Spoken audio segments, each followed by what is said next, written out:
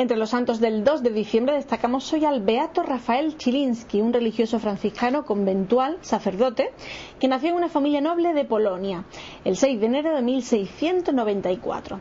Al terminar los estudios en el Colegio de los Jesuitas, hizo durante tres años el servicio militar, llegando al grado de oficial. Luego ingresó en la Orden de los Franciscanos Conventuales de Cracovia, en la que quiso ser hermano laico aceptado por voluntad de sus superiores como clérigo, hizo un curso abreviado de filosofía y de teología y bueno, ahí llegó. Pero la epidemia de la peste de comienzo del siglo XVIII provocó la muerte del 50% de los frailes de la provincia conventual polaca y este beato recibió la ordenación sacerdotal en 1717. Trabajó en diversas casas religiosas como confesor, como predicador, cuidó de los pobres.